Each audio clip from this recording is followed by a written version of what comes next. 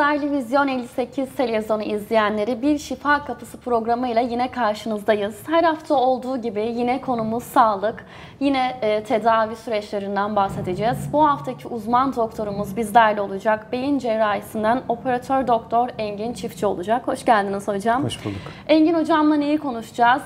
7'den 70'e herkesin başına gelebilecek bir hastalıktan e, oldukça e, 7'den 70'e hepimizde de olan ağrılardan. Nedir bu ağrılar? Bel ağrısı, boyun ağrısı, gündelik hayatta ne kadar önemsemesek de aslında oldukça önemli olan bir hastalıktan ve tedavi sürecinden bahsedeceğiz. Evet hocam e, neler diyeceksiniz? Öncelikle sizleri tanıyabilir miyiz? Tabii ben e, Engin Çiftçi. E, liseyi Gebze'de, üniversiteyi Bursa'da, ihtisasımı İzmir'de tamamladıktan sonra e, İstanbul'da e, son zamanlarda çalışıyorum. Hı hı. E, beyin cerrahisi uzmanlığında gerekli ameliyatları, tedavileri e, elimizden geldiğince halkımıza e, sunmaya çalışıyoruz. Oldukça uzman ve başarılı bir doktorsunuz. Çok teşekkürler. Ee, evet, bel fıtığı ve boyun fıtığı hakkında bugün e, sevgili izleyenlerimize bilgilendireceğiz. Tedavilerinden bahsedeceğiz. Öncelikle bel fıtığı nedir? Hangi olasılıklarda oluşur? Bel fıtığıyla başlayalım hocam isterseniz. Ee, çok teşekkürler öncelikle davetiniz için. Ben başlamadan e, temelleri Sivas'ta atılan e, Cumhuriyetimizin 100. yılını kutluyorum. Bütün ülkemizin bayramını kutluyorum. E, başta tabii e, Mustafa Kemal Atatürk olmak üzere emeği geçen ve bugünlere ülkemizin, Cumhuriyetimizin gelmesinde emeği olan herkese şükranlarımı bildiriyorum. E, konumuza gelecek olursak, şimdi bel fıtığı tabii e, biraz önce sizin de söylediğiniz gibi 7'den 70'e herkeste e, bir sebeple olabilen bir durum, bir rahatsızlık. E, bel ağrısı hepimizin yaşadığı, bazen e, çok genç yaşlarda, bazen daha ileri yaşlarda, hı hı. daha çok orta yaşlarda çalışan e, kesimlerde sıklıkla karşılaştığımız bir durum. Yani bel ağrısı çekmeyen hiç kimse yoktur. Ama tabii bu bel ağrısı olan herkes illa bel fıtığıdır anlamına da gelmez. Kesinlikle. E, mutlaka bunları bir ayrıcı tanıya gitmek gerekiyor. Bel ağrısının tabii çok çeşitli sebepleri var. Hı hı. Bizim bel fıtığı da bunların başında gelen sebeplerden. Hı hı. E, dolayısıyla e, bel ağrısı çeken insanların acaba bende bel fıtığı mı var diye endişe etmesi ya da şüphe etmesi gayet normal. Hı hı. Bunun tabi bir uzmana başvurduklarında bel fıtığı olup olmadıklarını veya ağrılarının nereden kaynaklandığını tespit etmek hı hı. mümkün. Yani kendileri bir tanı koymadan önce öncelikle tabii ki de uzman elbette, doktorlarımızla danışmaları elbette. gerekiyor. Çünkü e, gerçekten bel ağrısının işte hani derler ya klimanın altında kaldım evet. ya da işte ceryanda kaldım. En basit nezle vesaire. Gibi. Evet. Hı hı. Oralardan başlayıp işte trafik kazalarında bel kırıklarının evet. oluşmasına veya e, zorlamayla bel kırıklarının oluşmasına kadar giden ve ya da işte tümör, e, spazm e, fibrozit, romatizma yani hı hı. aklınıza gelebilecek birçok hastalıkta e, aynı zamanda bel ağrısı da olabilir, olabiliyor. Hatta dahili hastalıkların bir kısmında yine bel ağrısıyla insanlar karşılaşabilir. Dolayısıyla hani benim bel ağrım var, e, şuyum deyip kendi kendimize tedavi olmak çok doğru bir yaklaşım olmaz. E, dolayısıyla bir e, bu işin ehline danışmalarında yarar var. Peki e, uzman doktorlarımızın e, geldiklerinde vatandaşlarımız tedavi amaçlı geldiklerinde başvurduklarında sizler o tanıyı nasıl koyuyorsunuz? Evet. Hangi tetkiklerden geçiriyorsunuz? Şöyle tabii ki ilk önce bir hikayesine bakmak lazım. Hı hı. Yani bir kaza neticesinde mi olmuş ya da bir ağır yük kaldırmış ondan sonra bel ağrısı olmuş. Ya da biraz önce söylediğimiz gibi hani bir sıcak soğuk değişimi olabilir. Ee, bir futbol maçı sırasında ters bir hareket neticesinde olmuş olabilir. Hasta düşmüş olabilir. Bunların hepsini e, dinledikten sonra iyi bir muayene şart. Hı hı. Muayenede zaten biz ağrının kaynağını bu hikaye aldığımız hikayeyle birlikte yaptığımız muayene neticesinde e, tanıya oldukça fazla miktarda yaklaşıyoruz. Yani bir hasta geldiğinde biz muayene ettikten sonra bu bir bel fıtığı mıdır? Ya da bel fıtığına çok yakın diyelim ki bir e, omurilik kanal darlığı mıdır? Ya da bir e, işte bir tümöre bağlı mıdır? Bunları bir miktar ayırt etmiş oluyoruz zaten muayeneyle. Hı hı. Ancak tabii daha ileri tetkik yapmak ve kesin tanı koymak şart. Çünkü tedavimizi ona göre belirleyeceğiz. Bunun için de röntgenle başlıyoruz. Röntgen filmleri bize bir fikir veriyor. İşte o e, sinirlerin geçtiği kanalların e, dar olup olmadığı hakkında bize fikirler veriyor veya bir kırık olup olmadığını gösterebilir. Bunun üstünde bundan sonraki aşamada belki bir tomografi gerekebilir. E, hastalığın durumuna, çeşidine göre bir tomografi gerekebilir. Veya e, bundan sonraki aşamada bir MR. Bu e, yine tespit edeceğimiz, yöneleceğimiz hastalığa göre diyelim ki bir bel fıtığıysa normal bir MR yeterli ama bir tümör düşünüyorsak e, o zaman ya da bir enfeksiyon düşünüyorsak mutlaka ilaçlı MR, kontrastlı MR çektirmemiz gerekiyor. Buraya kadar gidiyor. Buna ilaveten bazen e, sinir ölçümü diye halk arasında bilinen EMG e, yöntemine de başvurmamız gerekebilir bazı ayrıcı tanılarda. E, ondan da e, yeri geldiğinde bahsederiz. Teşhisleri koyduktan sonraki süreçte hani e, adım adım bahsettiniz şu Evet. anda. Teşhisi koyduktan sonra ilaç tedavisiyle mi yoksa direkt ameliyat mı? Bunun nasıl ayrımını yapıyorsunuz? Ya da Şöyle. vatandaşlar çok affedersiniz vatandaşlar halk e, şu an herkes ameliyat olayım kurtulayım. Direkt direkt kolaya kaçma derdindeler. Biraz sabırsız bir e, ülkeyiz. Vatandaşlar biraz sabretmiyor. Tedavi sürecini direkt kabul etmiyor. Ameliyatımı olayım, bir hafta yatayım, kalkayım sonrasında e, kaldığım yerde devam edeyim düşüncesiyle hareket ediyor. Bu düşünceyi ne kadar e, doğru buluyorsunuz ve Evet. süreci nasıl değerlendiriyorsunuz sonrasında? Şimdi şöyle birincisi e, her bel fıtığı e, ameliyat gerektirmez. Yani bunun da bir aşamaları var. E, öncelikle tabii başlangıçta bir e, eğer fıtık çok büyük değilse, e, hastada bir kuvvet kaybına sebep olmamışsa, e, tabii onları da söyleyeyim. Madem fıtığı e, işleyeceğiz, bir bel fıtığı olduğu zaman insanlarda genellikle bir bel ağrısı olur. Bazen bel ağrısı olmadan sadece bacak ağrısı olabilir. E, veya bir ayakta, bacakta, uylukta kuvvet kaybı olabilir. E, uyuşma olabilir. E, keçelenme tarzında tarif eder insanlar. Bu uyuşma sıkışan sinirin yerine göre e, uyluk bölgesinden ayağa kadar değişen yerlerde olabilir. Refleks kayıpları olabilir. İşte dize klasik vurduğumuz zaman refleks alamayız veya aşil refleksi dediğimiz e, topuktaki refleksi alamayabiliriz. Bunlar e, olabilir bel fıtığı neticesinde.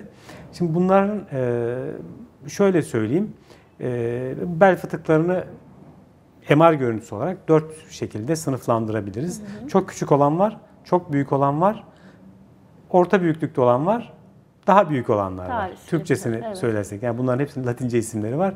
Ee, en küçük ve en büyüklerde çok sorun olmuyor aslında. En küçükleri çoğu zaman ilaçla, en büyükleri de ameliyatta tedavi etmek daha doğru bir yaklaşım haline geliyor. Ama bunların dışında arada olanlar var. Onlar da e, öncelikle ilaç tedavisi sonra ameliyat veya bazen önce ameliyat sonra başka yöntemler ilave olarak yapılabilir.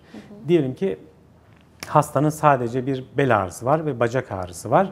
Önce ilacı veriyoruz, ilaçları kullandırıyoruz. İlaç tedavisinden fayda görmezse, hastanın ağrıları ilaçla hafiflemez, daha da artarsa, e, günlük hayatını olumsuz etkilerse o zaman ameliyatı konuşuyoruz. Ameliyat ettikten sonra e, Ne kadar süre zarfında normal hayata dönüyorlar? O ameliyat öncesinde ve sonrasındaki tetkikler bunları nasıl e, planlıyorsunuz? Şöyle, şimdi e, ameliyatta genellikle aynı gün ayağa kaldırıyoruz. Yani hastamız e, bugün ameliyat oldu. Anestezinin, narkozun etkisi bittikten sonra hastayı ayağa kaldırıp yürütüyoruz. Ertesi günde yaptığı iş ağır değilse işine dönebilir. Yani bir gün yatış oluyor ama değil mi Tabii. hastanede? Genellikle bir gün yatırıyoruz. Hani e, yatırmadığımız hastalar da var. Hasta yatmak çok- o kadar çok iyi hissediyor ki kendisini. Evet. Yatmak istemiyor, yatırmayabiliriz ama çoğu zaman e, anestezinin, narkozun etkisinin geçmesini e, ve o e, bir gecelik hiç olmazsa e, gözümüzün önünde e, bu ameliyat sonrası durumu seyretmek, görmek istiyoruz. Ertesi gün çoğu zaman taburcu ediyoruz e, ve işine e, hafif bir iş yapıyorsa dönebilir durumda oluyor hastalar. Ama e, önerimiz e, hiç olmazsa yara iyileşmesinin tamamlanmasından sonra eğer diyelim ki bir e, ağır iş yapıyorsa bir aylık bir süreyi e, hiç olmazsa beklemesini istiyoruz. Araç kullanıyorsa e, yine bir hafta 10 gün hiç araç kullanmamasını e, tercih ediyorum ben şahsen. Hı hı. E, ondan sonra işine dönebilir hasta. Bir şeyimiz yok, bir engelimiz yok. Ama tabii bu sürece gelinceye kadar e, başka yöntemler de insanlar deneyebilirler. E, mesela fizik tedavi, küçük fıtıklarda hı hı. fizik tedavinin de faydaları var. E, ama bir kuvvet kaybı gelişmişse, ilaçlara rağmen şikayeti geçmiyorsa ameliyat olmak daha anlamlı bir hale geliyor. Şundan dolayı ameliyat bel fıtıklarında hı hı. hem bir kesin çözüm hem de en hızlı çözüm. Yani tam da vatandaşların istediği evet, gibi başta da belirttiğimiz büyük, büyük gibi. bir fıtığı fizik tedavi süreçlerinden veya işte ilaç tedavilerinin süreçlerinden geçip bekleyip düzelmesini e, istemek e, oldukça zahmetli. Yani bu çünkü bazen 3-4 ay sürebiliyor. Hı hı. O süre içinde de hastanın çok şiddetli ağrılar oluyor. Normal hayatında ciddi problemler yaşıyor. İş hayatına dönemiyor. İş yerinde problem yaşıyor. Dolayısıyla ameliyat bizim için en hızlı, en kesin çözüm. Ee, ancak tabii ameliyatta e, insanların e, korktuğu da bir şey aynı zamanda. Hani ben e, ameliyat e, korkulmayacak bir şeydir e, demek istemiyorum ama hı en hızlı ve e, en pratik çözüm. Sonuçta bıçak altına yatılıyor diyebiliriz halk ee, Valla aslında günümüzün şartlarında e, ameliyata girmeden tabii hastanın bütün tetkiklerini yapıyoruz. Hı hı. Narkozla ilgili e, veya varsa başka hastalıklarla ilgili bir problem olacak her şeyi e, bir gözden geçiriyoruz. Ona göre hastayı en uygun şartlarda ameliyat alıyoruz. Yoksa e, yani bütün herkesi hemen ameliyata Tabii almak gibi bir durumu söz konusu değil. Yani çok ciddi hastalıkları olan insanlar var. Onları elbette diyelim ki ilgili uzman dal, uzmanlık dallarına işte kardiyolojiye, dahiliyeye veya işte başka e, problemlerin neyle ilgiliyse onlara danışmadan ameliyata almıyoruz. Peki hocam bu hangi aralıklar, hangi yaş aralığında daha da çok e, belirtisini gösteriyor? Yani demin 7'den 70 herkesin başına gelebilecek evet. dedik ama e, bu insanın biraz da kendisini yıpratma ve hırpalamasıyla da alakalı gibi düşünüyorum Tabii. ben. Doğru. Sizler daha iyi bilirsiniz. Hangi Doğru. yaş ortalaması daha çok bel fıtığına yakalanıyor? Çalışan yaş grubunda yani 20 ila 50 yaş arasında daha sık olan bir durum. Hatta biraz daha daraltabiliriz. 25-55 yaş arası daha fazla görüldüğünü söyleyebiliriz. Yani bu ortalama 3. 4. dekatlarda yani 30'lu 40'lı yaşlarda çok sık gelen grup. Çünkü orada artık omurga biraz daha yaşlanmaya başlıyor. Bir geçiş evet. geçiş dönemi gibi ve zorlanmalara dayanıklılığı daha azalıyor. Yani bel fıtığı neticede bir omurgamız var. Kemiklerin arasında bir disk var. O diskin tabii ki bir dayanma gücü var. O dayanma gücü de yaşla birlikte ister istemez e, azalıyor.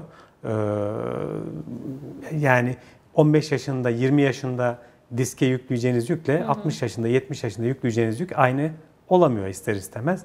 Dolayısıyla yani bu çalışan grupta e, ve çalışan insanlar elbette ki hem e, ofis çalışanları olsun ya da ağır yük. En çok da inşaat işçileri e, herhalde buna yakalanıyor diyebiliriz. Şimdi, onlardan çok ofis çalışanlarında daha çok oluyor. Çünkü e, inşaat işçileri diyelim ki e, daha bel kaslarını, e, karın kaslarını, sırt kaslarını çok kullanıyorlar ve onları kuvvetli hale getiriyorlar. Omurga zaten belli bir güce, dayanma gücüne hı hı. erişmiş oluyor ve onlar kendilerini korumayı da biliyorlar ister istemez. Ama ofis çalışanlarında bunu çok maalesef şey yapamıyoruz. Çünkü oturarak çalışıyorsunuz, oturma bozukluklar oluyor, uzun süre oturuyorsunuz. Ayağa kalkıp o omurgayı rahatlatma imkanlarınız çoğu zaman olmuyor. Ee, dolayısıyla bel kasları, sırt kasları, boyun kasları çok zayıf kalıyor ve e, omur e, vücudun yükü sadece kemik ve disklere kalıyor. Onlar da zayıfladıkça fıtık oluşma olasılığı daha da artıyor. Daha da olur. Şimdi annelerimiz... Ve bu insanlar da diyelim ki işte ofiste çalışıyor ama eve geliyor, biraz yükleniyor. Ee, ondan sonra bel fıtığı olup geliyor mesela. Genelde annelerimiz söyler bizlere küçükken birinci sınıfa başlayan çocukluktan itibaren evet. çanta yükü e, sırtımızda olur. Ve dik dur, kambur durma, ileride evet. bel fıtığına yol açar gibi e, uyarılarda bulunur. Tabii Doğru. biz bunlara e, çok kulak asmayız o zaman genç, gençler olarak. Bu duruş bozukluğundan da kaynaklanan bir e, tetikleyici bir e, hastalık değil midir? Doğru. E, duruşumuz, yürüyüşümüz, e, vücudumuzun dayanıklılığı bunların hepsi e, bel fıtığının oluşmasında etkenler. E, gerçekten çocuklara çok fazla yük bindiriyoruz. Yani bunları e, hala bugün çözebilmiş değiliz. Yani ben de e, görüyorum. Yani böyle ilkokula giden çocuklar sırtlarında çok ağır çantalarla hala okula gidiyorlar. Aslında bunlar çözülebilir şeyler. E, fakat nedense bir türlü çözülemiyor. E, o çocukları o yüklerle görmek beni gerçekten üzüyor. E, inşallah önümüzdeki zamanlarda bunlar çözülür.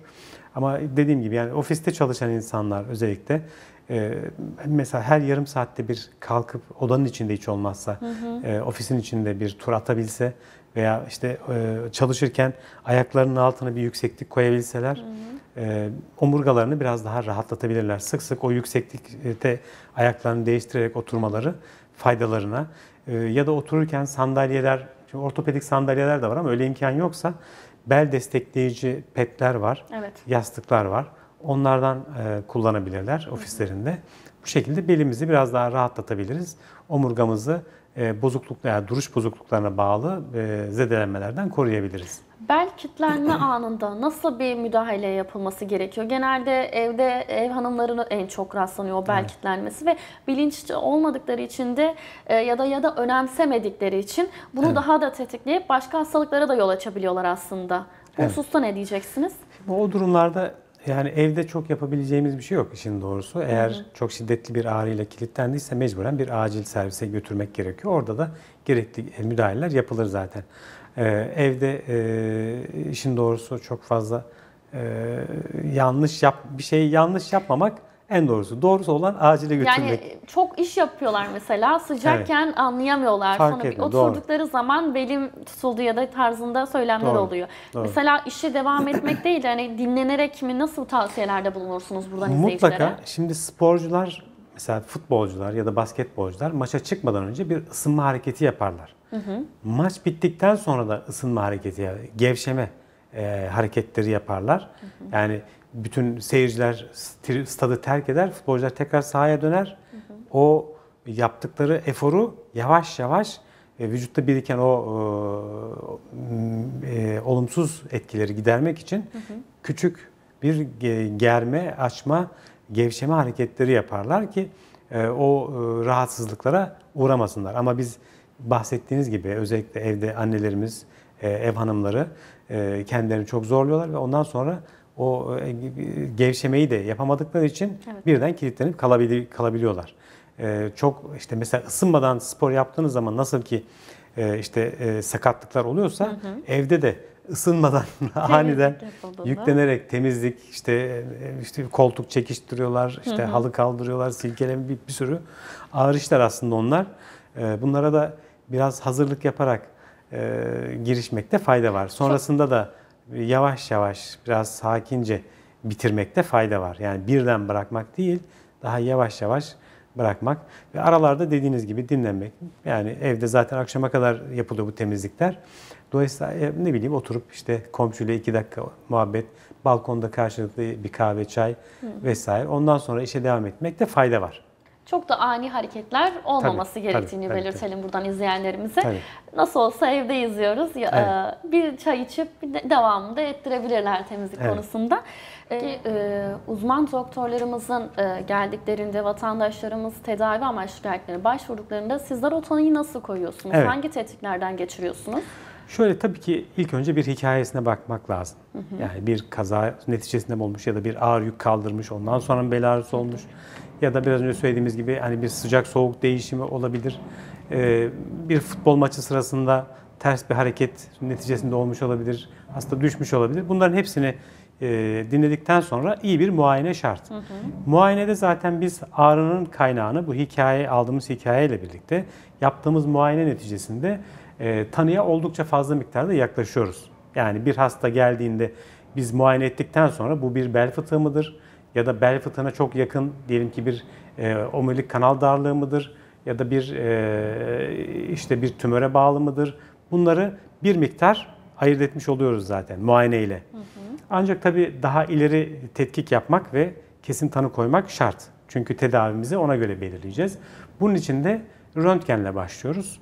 Röntgen filmleri bize bir fikir veriyor. Hı hı. İşte o, o sinirlerin geçtiği kanalların e, dar olup olmadığı hakkında bize fikirler veriyor veya bir kırık olup olmadığını gösterebilir. Hı hı.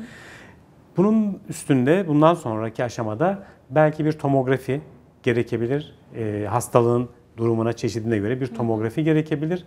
Veya e, bundan sonraki aşamada bir MR.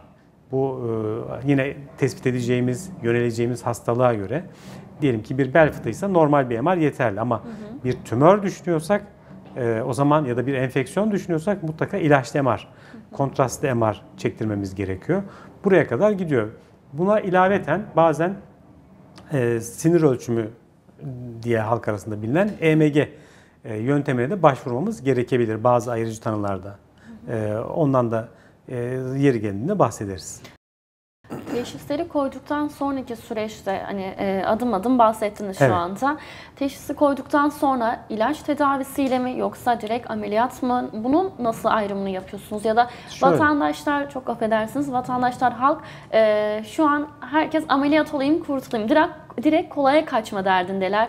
Biraz sabırsız bir e, ülkeyiz. Vatandaşlar biraz sabretmiyor. Tedavi sürecini direkt kabul etmiyor. Ameliyatımı olayım, bir hafta yatayım, kalkayım sonrasında e, kaldığım yerde devam edeyim düşüncesiyle hareket ediyor. Bu düşünceyi ne kadar e, doğru buluyorsunuz ve evet. süreci nasıl değerlendiriyorsunuz sonrasında? Şimdi şöyle, birincisi e, her bel fıtığı e, ameliyat gerektirmez. Hı hı. Yani bunun da bir aşamaları var. Ee, öncelikle tabi başlangıçta bir e, eğer fıtık çok büyük değilse, e, hastada bir kuvvet kaybına sebep olmamışsa, e, tabi onları da söyleyeyim. Madem fıtığı hı hı. E, işleyeceğiz, bir bel fıtığı olduğu zaman insanlarda genellikle bir bel ağrısı olur. Evet. Bazen bel ağrısı olmadan sadece bacak ağrısı olabilir. E, veya bir ayakta, bacakta, uylukta kuvvet kaybı olabilir. Hı hı. E, uyuşma olabilir e, keçelenme tarzında tarif eder insanlar. Bu uyuşma sıkışan sinirin yerine göre e, uyluk bölgesinden ayağa kadar değişen yerlerde olabilir. Refleks kayıpları olabilir. İşte dize klasik vurduğumuz hı hı. zaman refleks alamayız veya aşil refleksi dediğimiz. E, topuktaki refleksi alamayabiliriz. Bunlar e, olabilir bel fıtığı neticesinde. Şimdi bunların e, şöyle söyleyeyim. E, bel fıtıklarını MR görüntüsü olarak dört şekilde sınıflandırabiliriz. Hı hı. Çok küçük olan var, çok büyük olan var, orta büyüklükte olan var, daha büyük olanlar var. Tarih, Türkçesini evet. söylersek. Yani bunların hepsinin Latince isimleri var. Ee, en küçük ve en büyüklerde çok sorun olmuyor aslında. En küçükleri çoğu zaman ilaçla, en büyükleri de ameliyatta tedavi etmek daha doğru bir yaklaşım haline geliyor. Ama bunların dışında arada olanlar var. Onlar da ee, öncelikle ilaç tedavisi, sonra ameliyat veya bazen önce ameliyat, sonra başka yöntemler ilave olarak yapılabilir. Hı hı. Diyelim ki hastanın sadece bir bel ağrısı var ve bacak ağrısı var. Hı hı. Önce ilacı veriyoruz, ilaçları kullandırıyoruz. İlaç tedavisinden fayda görmezse, hastanın ağrıları ilaçla hafiflemez, daha da artarsa, hı hı. E, günlük hayatını olumsuz etkilerse o zaman ameliyatı konuşuyoruz. Ee, hocam Türkiye'de ve yurt dışında uygulanan tedavi süre, e, süreçleri ve tedavi uygulanan tedavi sistemlerinden en verimlisi evet. ve en etkilisi nedir? Bu tedavilerden de bahsedersek tabii, eğer. Tabii. Şimdi e, cerrahi olarak bütün dünyada en oturmuş tedavi yöntemi mikro cerrahi. E, mikrodiskektomi dediğimiz cerrahi yöntem. E, bu bütün beyin cerrahlarının en hakim oldukları ve en çok kullandıkları, en çok verim alınan da yöntem. Bunun dışında tabii e, ameliyat olmak istemeyenler için başka tedavi yöntemleri var. Mesela enjeksiyonlar yapılabilir. Hı hı. E, epidural enjeksiyonlar, foraminal enjeksiyonlar dediğimiz enjeksiyonlar yapılabilir. Bu enjeksiyonlar da bir miktar rahatlatır. Ee, yine, eklem içine iğneyle yapılan sıvı aktarımı mı oluyor hocam? Eklem içine di, değil. Tabii bu e, omurga eklemlerinin çevresine hı hı. E, bazen içine yaptığımız da oluyor. Ama o sinirin çıktığı bölgeye hı hı. ya da epidural alan dediğimiz e, omurilik zarının üstüne e, yaptığımız ve o bütün omurgaya e, yani alt bölge omurgaya yayılan bir e, içinde çeşitli ilaçlar olan e, bir enjeksiyon e, hı hı. şekli. E, bunlar yapılabilir. Bunun dışında tabii çok günümüzde popüler olan e, daha doğrusu e, sık sık popüler olup sonra kaybolan tedavi yöntemleri var. Ee, bunlar da e, çoğu zaman deneniyor. Bazen fayda oluyor, bazen olmuyor. Daha önce mesela bir dönem e, nükleoplasti dediğimiz e, işte diskin içine girip oraya bir ısı verme yöntemi çok popülerdi. Sonra e, işte umduğumuz kadar faydalı olmadığı görüldü, vazgeçildi. Bir dönem lazer çok kullanıldı. Lazer de bugün artık çok e, seçilmiş hastalarda e, faydasını gördüğümüz bir yöntem. Yine mesela bugünlerde çok popüler olan ozon tedavisi var. O da herkese uygun tedavi yöntemi değil. Seçilmiş hastalarda faydası var. E, bunun gibi e, bir de mesela ameliyat yöntemi, mikrodiskektomi dedim. Endoskopik yöntem de var. Bir de açık cerrahi denilen klasik cerrahi yöntemler var. Onlar da hastanın durumuna göre tercih edilebilir. Yani e, bazı hastalarda mikrodiskektomi değil de açık cerrahi yapmak gerekebilir. Daha geniş bir alana hı hı. hakim olmak gerekirse e, veya işte vida takmamız gerekiyor hastaya diyelim aynı zamanda. E, sadece e, fıtığı almak yetmeyecek. Orayı sabitlememiz de gereken durumlarda bunu açık şekilde de yapabiliyoruz. E, dediğim gibi bir de endoskopik yöntemler var. Hı hı. O da seçilmiş hastalarda tercih edilebilecek bir yöntem. Ama e, en popüler, e, en çok kullanılan ve faydası en çok görülen yöntem mikrodiskektomi. Evet. Hocam ameliyat e, her hastaya uygulanabilir, uygulanamaz dedik ama evet. ameliyat sonrasında bu tekrarlanabilir mi bel fıtığı ya da bel ağrıları? Tabii. Bunlar e, tekrar ameliyat olunabilir mi? Nasıl olur o süreç? Şimdi şöyle, e, başta da söylemiştim. yani bel fıtıkları bazen bel ağrısıyla, bazen hem bel hem bacak ağrısıyla, bazen sadece bacak ağrısı, bazen kuvvet kaybı, hı hı. E, bazen de uyuşmalar veya hepsi birlikte bazen daha da ileri hale gelip her iki bacakta kuvvet kaybı, e, idrar kaçırma, büyük abdestte e, tutamama gibi problemlere yol açabilir. Şimdi bunların her birinde farklı geri dönüşler var. Ya mesela bel fıtığını ameliyat ettiğiniz zaman bacak ağrısından kurtulur hasta. Bacak ağrısı gider. Bel ağrısı %90 civarında azalır. Uyuşmalar fıtığın oluş sürecine göre değişkenlik gösterebilir. Hı hı. Bazen e, bir ayda, bazen hemen iyileşir. Uyuşmalar ameliyattan sonra kaybolur. Hı hı. Bazen 3-4 ay, bazen 1 yıla kadar e, kalabilir. Çok nadiren kalıcı da olabilir. Çünkü o uyuşmaların sebebi sinirin hı hı. uzun süre baskı altında kalması oluyor. Affedersiniz. E, dolayısıyla onların geri dönüşü problem olabilir. Bel ağrısı Bel ağrısı e, dediğim gibi e, ameliyattan sonra hemen geçer. Hı hı. E, daha doğrusu ilk gün ameliyat yerinin ağrısı olur. Hı hı. Ameliyat yerindeki ağrı ertesi gün geçer. Hı hı. Ama bu fıtıktan kaynaklı bel ağrısı tekrar edebilir. Tekrar edebilir. Çünkü fıtığın kendisi tekrarlayabilir. %5 ila 15 civarında literatürde bel fıtığının tekrarlama olasılığından bahsedilir. Bu e, hastadan hastaya e, ondan sonra yap, hastanın yaptığı işe göre veya işte e, hayat şartlarına göre değişebiliyor. E, çoğu zaman hasta dikkat ederse bel fıtığı tekrarlamaz. Bel ağrısı her zaman olabilir. Fıtığa bağlı ya da fıtıktan bağımsız. Biraz önce de konuştuk. Hı hı sadece bel fıtığı değildir bel, bel ağrısının sebebi. Hı hı. Yani o bölgedeki kasların zayıflığı, o bölgeye olan yüklenmeler yani bel, fıt, e, bel ağrılarının en çok sebebi aslında beldeki bel bölgesindeki, sırt bölgesindeki kaslardan kaynaklanan ağrılardır.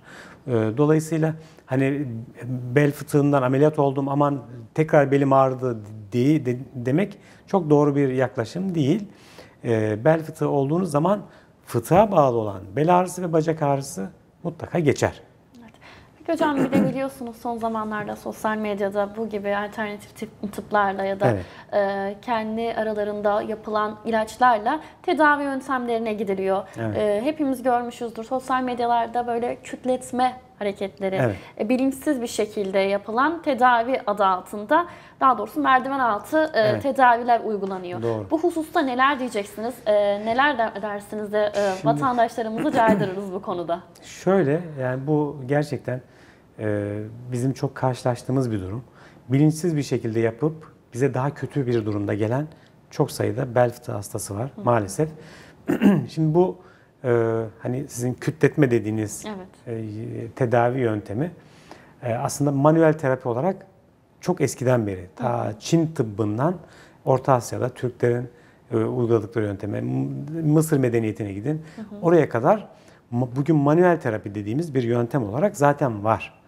Ama bunu işte bizim mesela fizik, fizik tedavi uzmanlarımız, fizyoterapistlerimiz e, eğitimini alarak hastaya zarar vermeden yapıyorlar. Bizim de yönlendirdiğimiz insanlar var. Ama bu bel fıtığında yapılacak bir şey değil. Bel fıtığının e, işte aslında kas ağrılarında, eklem ağrılarında, omurga eklem ağrılarında ve küçük fıtıklara bağlı gelişen e, işte o, o, o çevresel ağrılarda uygulanabilecek bir yöntem. Yani büyük bir bel fıtığınız var, gidip belimi kütleteyim, iyileşeyim diye bir şey yok. Daha kötü hale getirirsiniz, hastayı felç edersiniz. Kesinlikle. Allah korusun. Dolayısıyla bunlardan uzak durmak lazım. Ehil el lazım. Yani e, eğer bir kas ağrısıysa bu, hı hı. kaslarla ilgili bir ağrıysa veya omurganın mekanik dediğimiz e, eklemlerine bağlı, kemiklere bağlı bir ağrıysa manuel terapi zaten bizim de önerdiğimiz bir yöntem. Hı hı. Fizyoterapistlere, fizik tedavi uzmanlarına gönderiyoruz. Onlar gerekli müdahaleyi yapıyorlar. Hastalarda zaten sadece ondan değil, aynı zamanda mesela halk arasında kulunç denilen evet. işte fibromiyaljiye bağlı fibrozit dediğimiz e, e, oradaki yumruları fizik tedavi uzmanları çeşitli yöntemlerle yok ediyorlar. E, yani buna e, ehil olmayan ellerde gerçekten insanlar hem paralarından hem sağlıklarından oluyorlar. Kesinlikle. Yazık oluyor. E, bu e, alternatif diye söylenen yöntemlerin önemli bir kısmı zaten hastanelerimizde e, çeşitli bölümlerde yapılan, uygulanan yöntemler. Dolayısıyla hastane dışı yöntemlere başvurmak e, insanları faydadan çok zarara götürür. O yüzden uzak durmalarında, ehil ellerde bu işlere e, başvurmalarında fayda var. Kesinlikle. Buradan da evet. bilinçlendirmiş oldum evet. e, sevgili vatandaşlara. Evet hocam e, bel fıtığını biraz işlemiş olduk. Buradan evet. vatandaşlar alacağı mesajları almıştır umarım. Evet. E, boyun fıtığı da her insanda, her bireyde görünüyor. E, boyun fıtığı nedir? Neleri tetikler? E, biraz da belirtilerinden bahsedersek. Evet. Şimdi boyun fıtığı da benzer şekilde bu sefer boyun omurlarının arasında bulunan, boyundaki omurga kemiklerimizin arasında bulunan e, yastıkçıkların, disklerin e, omuriliğe doğru hı hı. ya da sinir köklerine doğru taşması neticesinde meydana gelen bir hı hı. hastalık.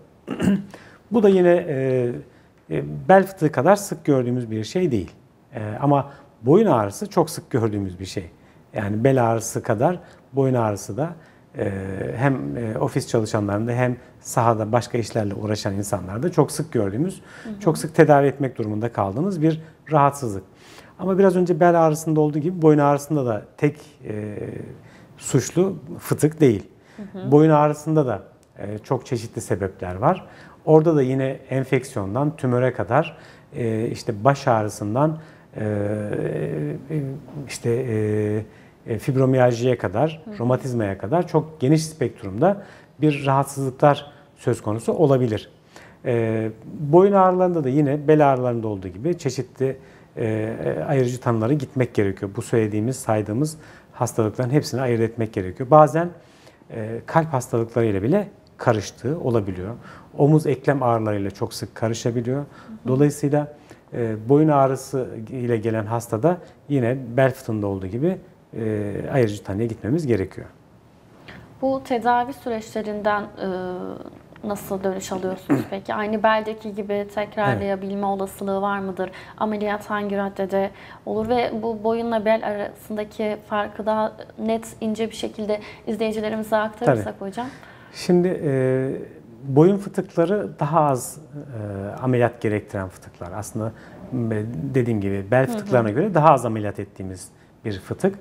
E, tabii öncelikle e, ayırıcı tanı yapmamız gerekiyor. Yani boyun ağrısıyla geldi hasta. Hı hı. E, çoğu zaman boyun fıtığıysa eğer bizim e, hastamız boyun fıtığıysa e, kollardan birine ya da her ikisine e, veya sırta doğru, kürek kemiğinin altına doğru bir ağrı da beraberinde olur, yayılır. Hı hı. Kolda, elde uyuşma, yine e, bel fıtığında olduğu gibi bel fıtığında mesela bacaklarda refleks kaybı olurdu. Burada da kollarımızdaki reflekslerde kay, kayıplar söz konusu olabiliyor.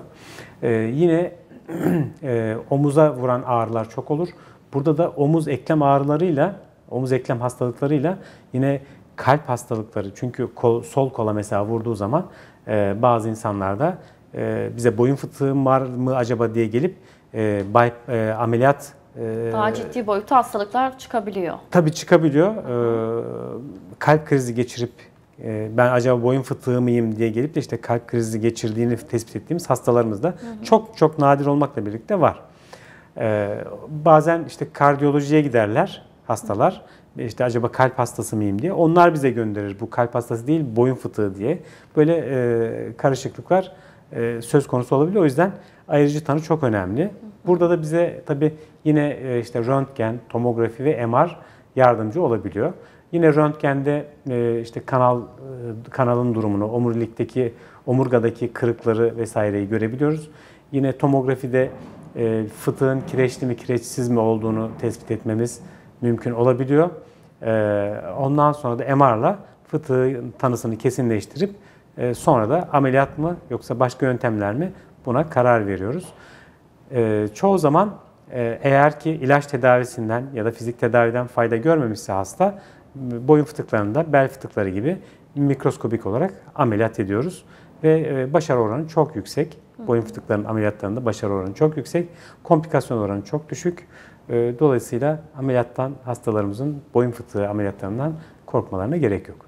Genelde ilk boyun ağrıdıkların boyun ağrıdığında bel fıtığı gibi değil hani bir masajla ya da böyle bilirsiniz e, kozmetik ürünler jellerle masaj yaparak rahatladığını söylüyor vatandaşlar. Evet. Hani bunlar kısa ve e, çok önemli tedavi süreçleri değil değil mi? Yine ihmal etmeden yine bir uzman doktorumuza e, danışmaları gerekiyor. Yani en azından alakalı. aile hekimlerine giderlerse bir muayeneyle bu zaten bu ilaçları e, aile hekimi de yazabiliyor.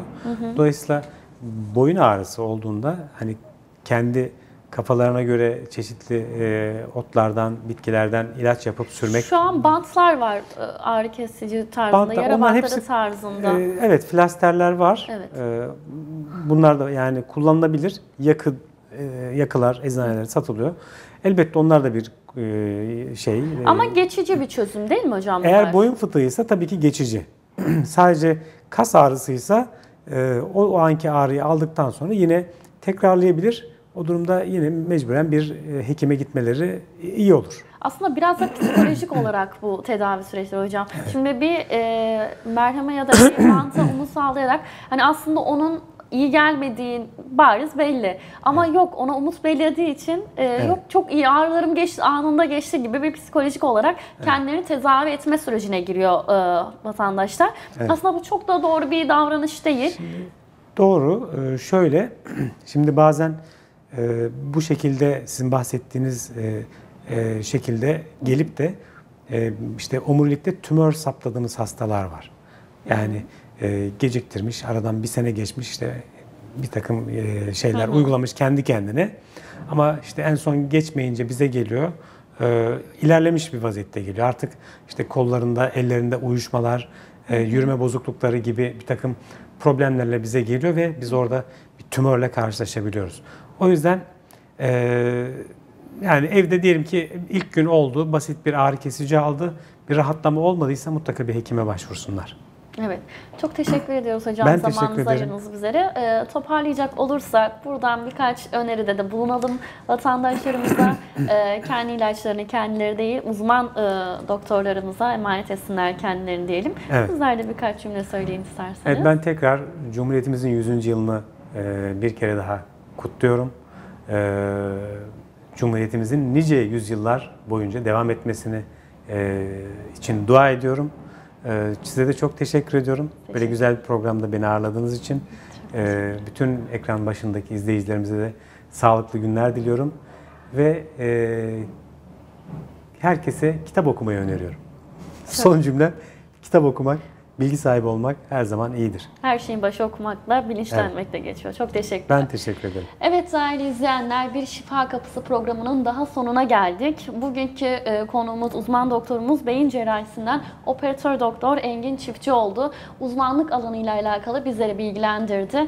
Tekrardan teşekkür ediyoruz sizlere. Ben teşekkür ederim. Evet, sağlıkla kalın, Gizem 58'e kalın.